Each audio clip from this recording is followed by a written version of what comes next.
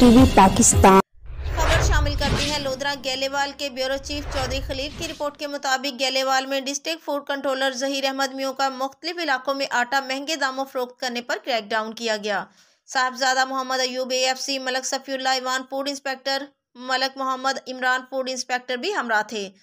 Zaheer Ahmad Mayo, district food controller ने बताया कि महँगा आटा फरोख्त करने पर दुकानदारों को पचास हज़ार रुपये जुर्माना आयद किया गया है।